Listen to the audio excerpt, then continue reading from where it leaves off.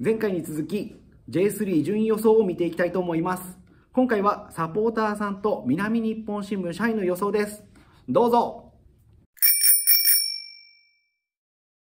では J3 の順位予想をみんなで、えー、語っていきたいと思います。今回 J3 の順位予想を、えー、寄せてくれたのはサポーターさんと南日本新聞社の社員です。社員がですね僕も含めてヒロニーも含めて5人この5人で語っていきますはい。じゃあまずは、サポーターさんの予想を、えー見ていきたいと思います。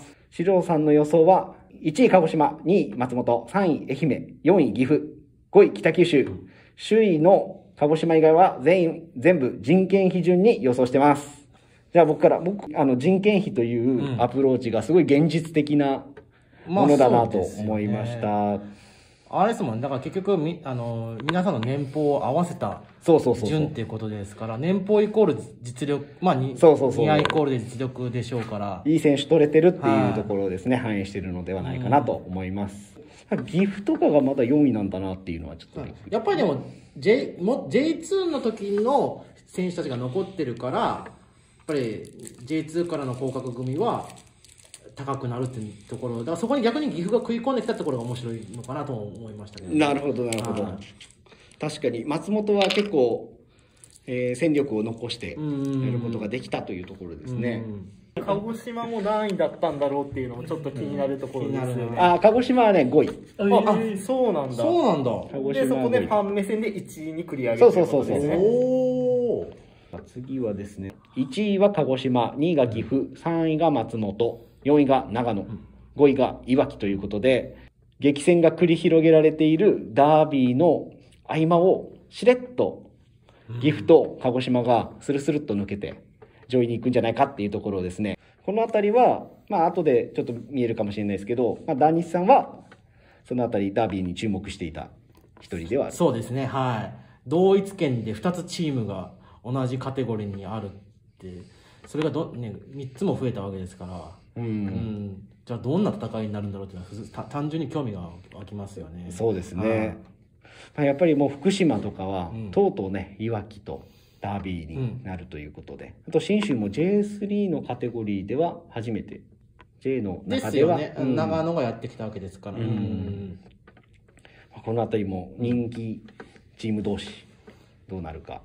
やっぱりいわきがね、5位に上がってくるっていう予想が、すごい、あの、面白いなと思ってはいますね。ですね。うん。どんな戦いを見せてくれるのかが。ううんんバッキバキの筋肉集団。えっとじゃあ次は3人目のサポーターさんはい。えー、とこの予想は鹿児島北九州松本長野 YS 横浜、うんまあ、間違い、まあ、鹿児島はもうユナイテッド優勝ということでですね、もう今まで優勝したことがないユナイテッドに、まあ、悲願のリーグ優勝をうんうんうん。もたらしたいというその思いも込めてですね1位になってます。その以下がこのサポーターさんの思いが詰まっているところで、はい。やはりその鹿児島にも専用のスタジアムが欲しいということで、専用スタジアムを持ってるチームがお2位以下にランクアップ。YS 横浜はあです。ですよね。三沢球技場。行ってないですけどね。行ってなくて行ったのかどうか。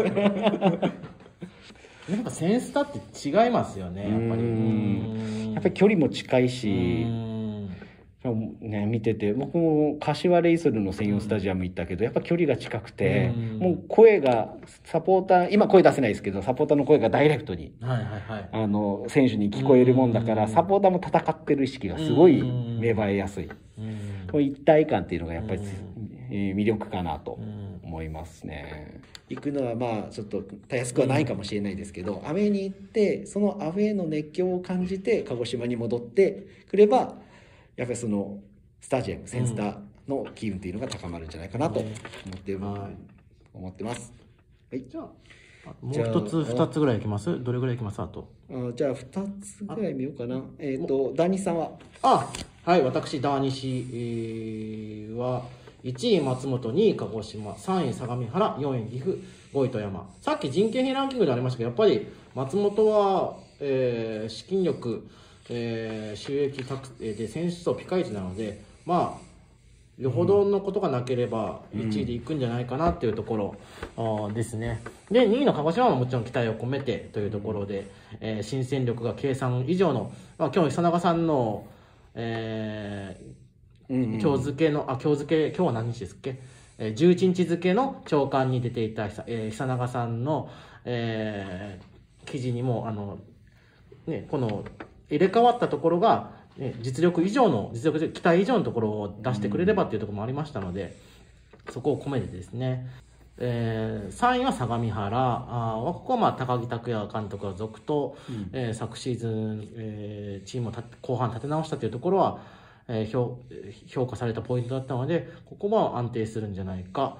で、4位の岐阜は、まあ、これでもかってぐらい戦力取った感じがするので、えーそこでもう、やっぱいわゆるその、選手の個の力で、えーががっちり噛み合えばいけるのか。ただ、そこで、えっと川西選手がいなくなったのは、ちょっと戦力低下の一つであって、で逆に川西選手が入ってきた富山っていうのが、えー今度面白くなるんじゃないかなっていうところでした。なるほどはい。おめん社員エルコさん。社員さんですね。いやこの前が、この去年予想した時に、地元優先で、あの、5位以内予想したら、えのこさんは、えー熊本と宮崎を当てたと。うん見事当てたと。あ当てたのかうん見事、ランクインしていったのですね。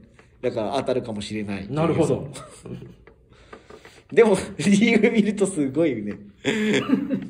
北九州、ギラバンツ、声に出して読みたいチ。宮崎の注目してるところもね、ほんわかしていて、相手の戦意喪失を狙っているかと思うほどっていう、これ。そうなんですか？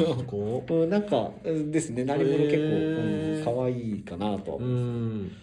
で、松本も、その鳴り物つながりで、スネアがめっちゃうまいからということで、その噂、やっぱり見てみたいということでした。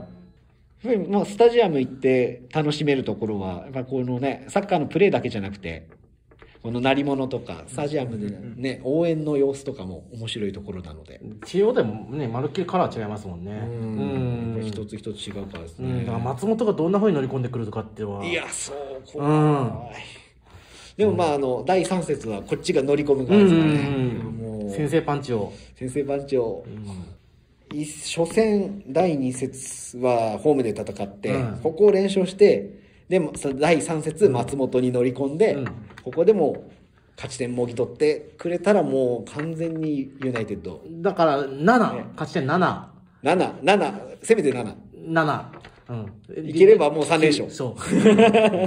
うん。いやもうこれやったらすごいですね、うんどうしますか？締めぐらいなんか。じゃあ、じゃあ温度温度を。どなたかお願いですか？千葉レユナイテッド。